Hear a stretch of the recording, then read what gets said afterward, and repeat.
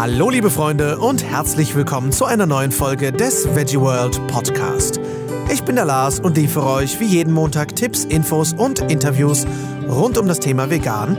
Und heute liefere ich euch eine Übersicht über vegane Apps und wie sie uns den Alltag erleichtern.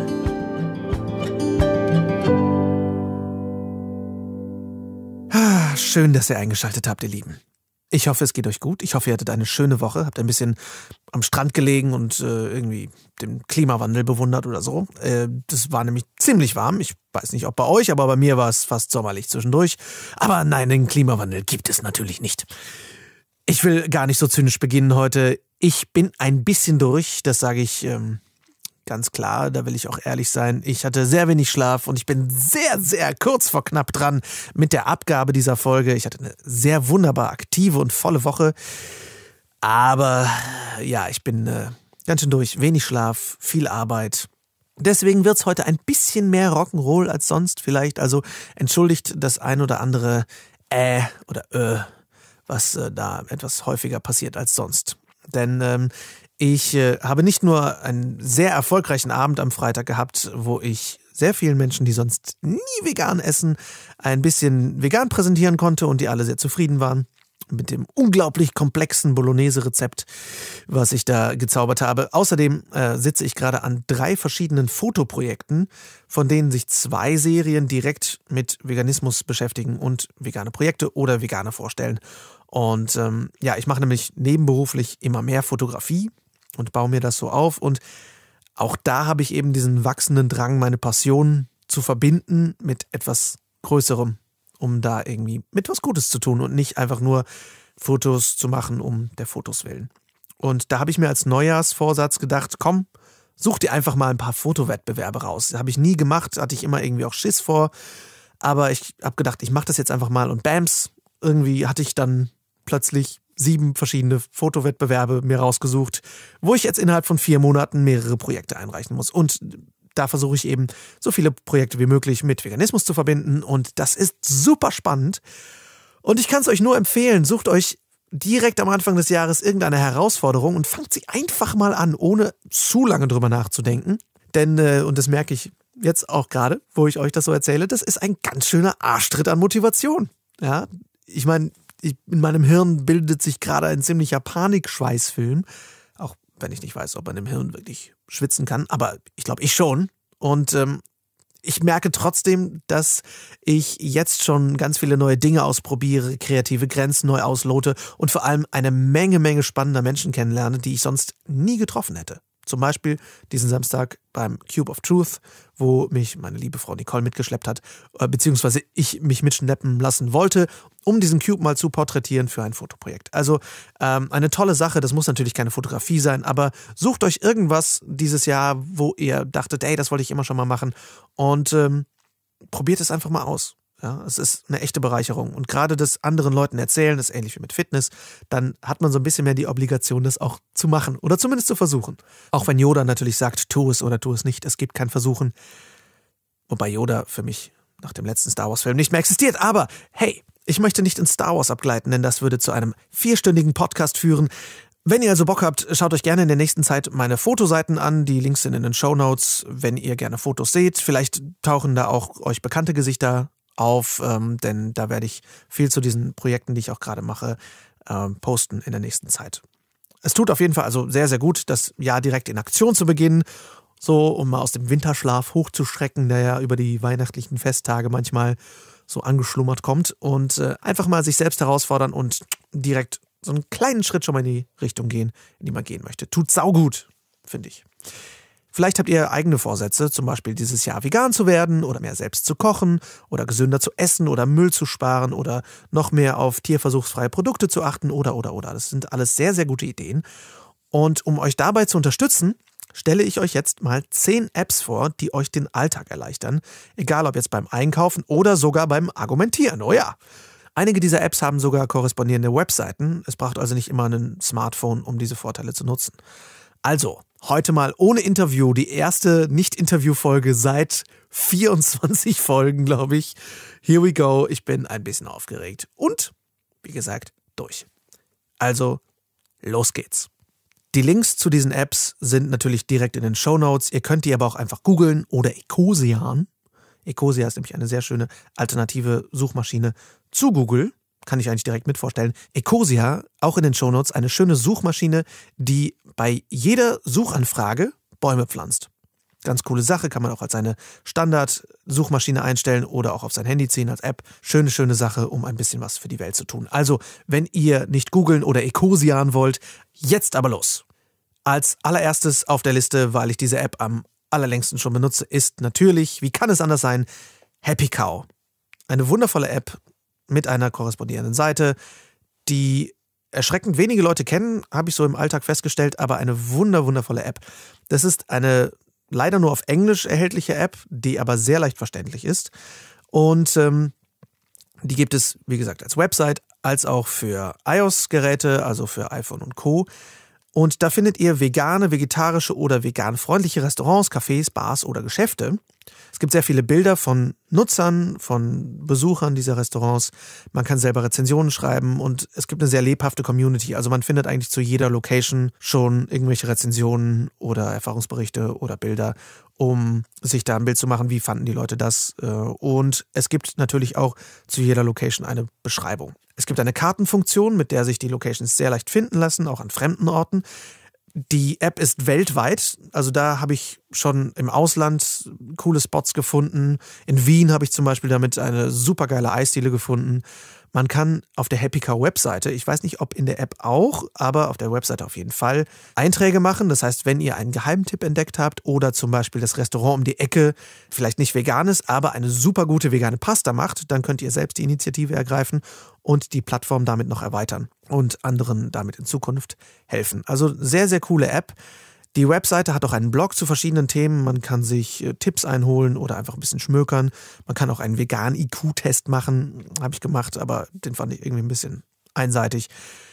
Was ich schade finde, ist, die App finde ich sehr teuer. Die kostet 3,99 Euro. Dafür, dass es andere Apps gibt, die ich jetzt auch vorstelle, die teilweise kostenfrei sind, finde ich das ein bisschen sehr hoch angesetzt vom Preis her. Aber ich habe es einmal gemacht und fand, dass es sich gelohnt hat, weil ich die App wirklich sehr, sehr viel nutze, wenn ich unterwegs bin. Eine Alternative, ähnlich wie Happy Cow, auch nur für iOS, wenn ich das richtig gefunden habe, ist Vegman, also V-E-G-M-A-N, Vegman.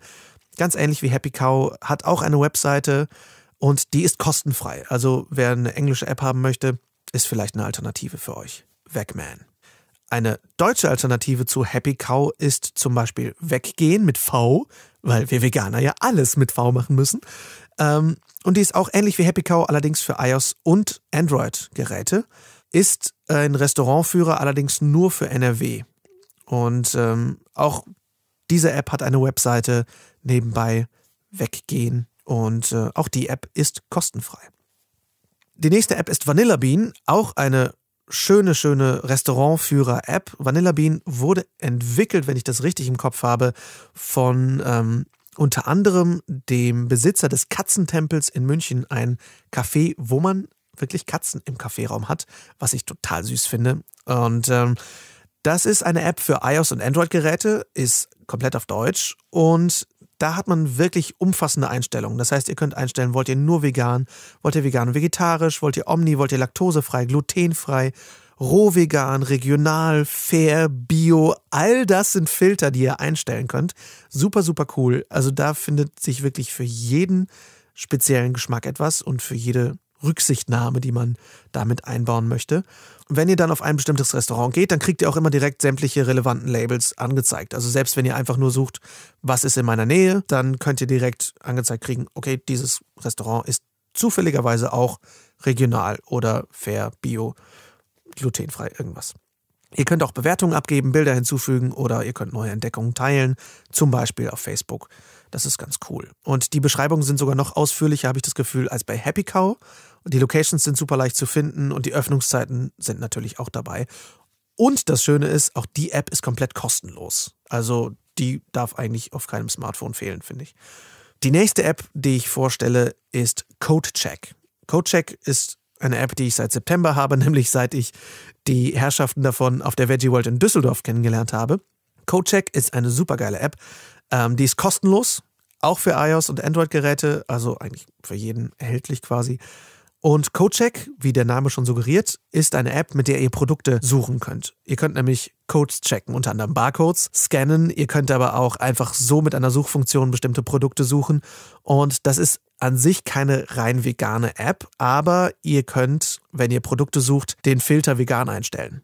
Und nicht nur das, ihr könnt in den Suchfilter einstellen, ob ihr auf Silikone achtet, wie viel Fett da drin sein soll, Zucker, Palmöl, super wichtig, Mikroplastik und, und, und. Also ihr könnt euch wirklich einen sehr personalisierten Filter da zurechtlegen und daraufhin dann Produkte suchen. Und dann, wenn ihr eben im Supermarkt steht und nicht wisst, hm, ist das wirklich vegan, obwohl es nicht gelabelt ist oder so, könnt ihr dann rausfinden, ist das Produkt vegan oder enthält es eben Palmöl oder oder oder. Also wirklich super, super praktisch.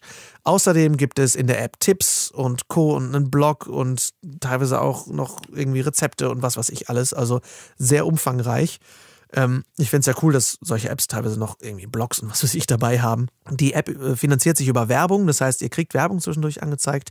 Deswegen ist sie halt kostenlos. Ähm, und was ich einen Nachteil fand bei mir war, dass sie relativ lang zum Starten braucht. Also ich warte da meistens echt einige Sekunden und das stört mich dann, wenn ich gerade echt so zwischen Tür und Angel irgendwas nachgucken möchte. Aber letztendlich nehme ich den Kauf, weil die App ist kostenlos. Also da will ich jetzt auch nicht so sehr meckern. Die nächste App ist der Peter 2 Einkaufsguide oder Peter 2. Ich weiß nicht, Peter 2. Ich weiß nicht, wie man es korrekt ausspricht, um richtig cool zu sein. Also der Peter 2 Einkaufsguide. Das ist auch kostenlos und für iOS und Android-Geräte. Ihr könnt hier einfach nach Märkten sortiert schauen, zum Beispiel, welche Produkte zum Beispiel bei Rewe, Edeka, Lidl, Aldi, DM und Co. alle vegan sind. Das ist sehr übersichtlich alphabetisch sortiert und nach Kategorien sortiert. Ihr könnt zusätzlich bestimmte Produkte suchen oder in der App Neuigkeiten im Blog nachlesen. Ich finde es sehr angenehm, wenn ich dann planlos im Supermarkt stehe und irgendwie gerade kein spezielles Produkt checken will, sondern einfach gerade wissen will, okay, ich habe Hunger, was hier ist vegan? Und dann kann ich das in der Peter 2 Einkaufsguide App einfach checken. Sehr, sehr schön, muss ich sagen. Eine weitere App, die ich nicht benutzt habe bisher, aber die sehr schön ist für jemanden, der vielleicht gerade vegan geworden ist, aber sich noch nicht so auskennt, oder jemand, der jetzt den Jahresvorsatz hat, ein bisschen mehr zu kochen, ist die Vegan Kochen App. Die gibt es nur für iOS und die kostet auch 2,29 Euro, also leider nicht umsonst. Aber das ist eine wundervolle App, wo ihr ganz, ganz viele Rezepte findet, die vegan sind, wo ihr auch die Personen ausrechnen könnt. Das heißt, ihr könnt die Portionen und die entsprechenden Zutatenmengen ganz einfach anpassen. Sehr, sehr schön, wenn man gerade kein Kochbuch wälzen möchte oder kein Kochbuch hat oder unterwegs ist oder bei Freunden und da irgendwas schnell zusammenpanschen möchte. Dann ist die Vegan Kochen App auf jeden Fall eine gute Hilfe. Auch eine wundervolle Unterstützung fürs Einkaufen ist die Wer macht was App von Animals Liberty. Ähnlich wie CodeCheck kann man hier Produkte suchen und überprüfen, ob die vegan sind. Das hat dann so ein Ampelsystem, also rot steht dafür nicht vegan, gelb steht für tierversuchsfrei, aber nicht vegan und grün steht dann eben für komplett vegan. Ist auch für iOS und Android, ist auch kostenlos. Ich finde, es ist eine etwas begrenzte Produktpalette im Gegensatz zu CodeCheck. CodeCheck hat ja wirklich Millionen von Produkten registriert und ähm, ja, da, ich habe das Gefühl, das ist eine App, die etwas mehr auf Kosmetik ähm, zugeschnitten ist und da habe ich schon häufiger Sachen mal nicht gefunden. Deswegen ähm, benutze ich die nicht ganz so häufig, aber sie ist halt kostenlos und ist letztendlich, nimmt die nicht viel Speicherplatz weg und sie ist eine gute Ergänzung, falls ich zum Beispiel bei CodeCheck mal was nicht finde oder so. Zwei ganz, ganz wichtige und super coole Apps kommen jetzt am Schluss und das ist zum einen Daily Dozen von Dr. Michael Greger. Ich habe die vor ein paar Folgen mit der Stina Spiegelberg schon mal erwähnt. Dr. Gregors Daily Dozen, also tägliches Dutzend. Dr. Michael Greger ist einer der renommiertesten Ärzte aus den USA, die sich mit dem Thema Ernährung beschäftigen. Er hat auch eine wundervolle Website nutritionfacts.org. Der hat ein ganz großartiges Buch geschrieben, habe ich mir sagen lassen, How Not to Die, wie man nicht stirbt. Hat dazu auch gerade ein Kochbuch rausgebracht und ähm, da geht es wirklich um gesunde Ernährung. Und in dieser App könnt ihr das ganz, ganz einfach abhaken im wahrsten Sinne des Wortes. Ihr habt nämlich eine einfache Übersicht und Abhakliste, was ihr heute schon gegessen habt an verschiedenen Nahrungsmitteln. Ob das jetzt Hülsenfrüchte sind oder grünblättriges Gemüse oder Obst und äh, wie viele Portionen man davon optimalerweise braucht. Da ist auch zum Beispiel Sport mit bei oder Exercise, also letztendlich nicht unbedingt Sport, aber schon Bewegung. Und das könnt ihr dann ganz einfach abhaken und sehen, wie viel Prozent dieses optimalen Zustands habt ihr erreicht.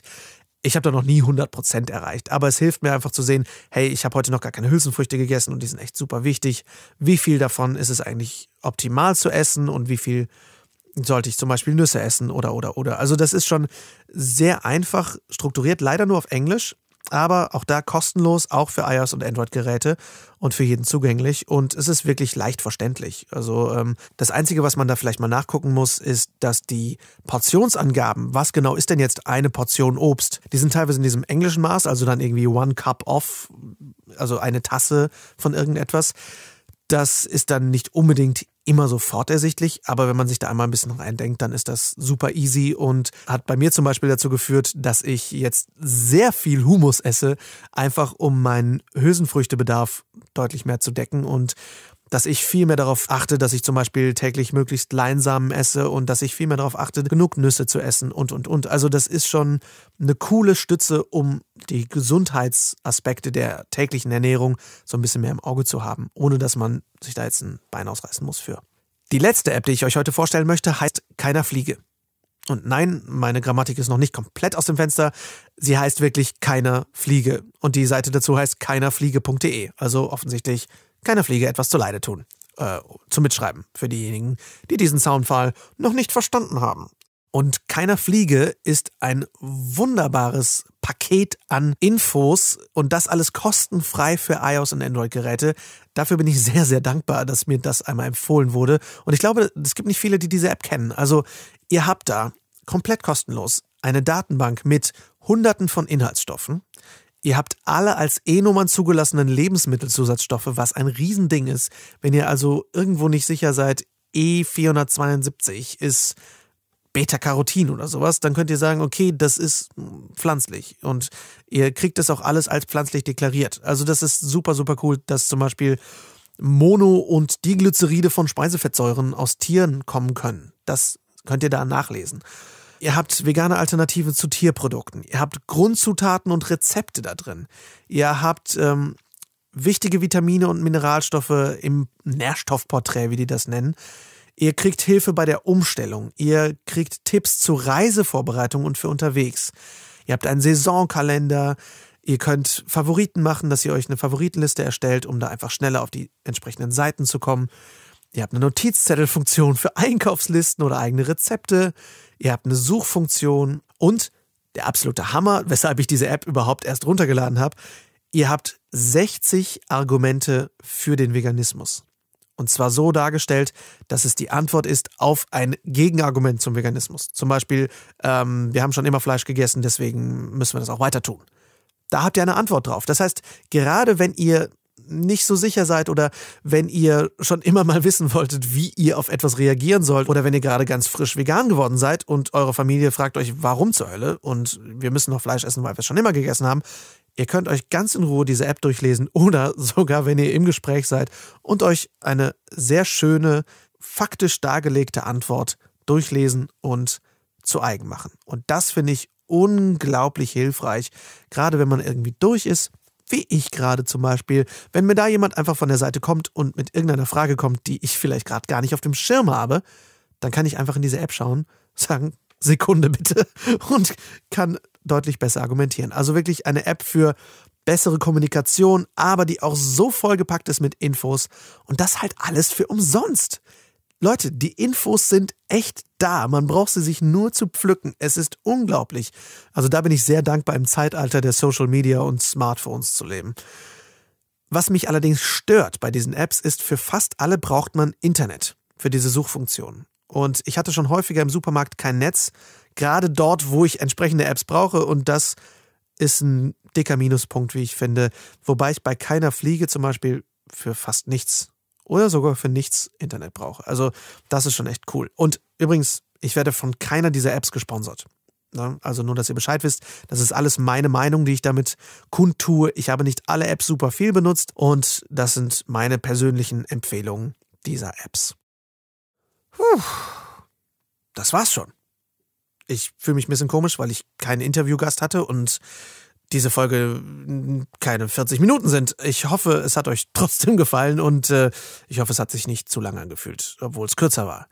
Aber es gibt eben eine Menge, Menge Apps, die ich euch unbedingt vorstellen wollte und ich möchte einfach wieder reine Infofolgen hier mit reinpacken, um euch einfach mehr Tipps und Tricks an die Hand zu geben, wie ich es ja im Vorspann auch immer sage. Und es waren auch natürlich noch nicht alle Apps, die es da draußen gibt. Wenn euch also irgendwelche einfallen oder welche ihr ständig benutzt, die jetzt nicht dabei waren, schreibt uns die gerne, dann können wir die auch nochmal teilen. Die Apps sind teilweise sehr ähnlich, aber in ihrer Bedienung oder in ihrem Feeling sind sie dann doch ein bisschen anders zu handhaben. Also sucht euch einfach raus, was euch am besten passt. Und wie gesagt, die Links zu den Apps sind natürlich in den Shownotes. Vielen Dank übrigens wieder einmal für euer Feedback. Ich habe mich total gefreut. Also vielen Dank besonders an Ferdi. Es freut mich sehr, dass dir die Folgen nicht zu lang sind, sondern eher zu kurz. Und äh, vielen Dank auch an Marci, dass du bei einem Wir quatschen über das Leben Podcast von Nicole und mir dabei wärst.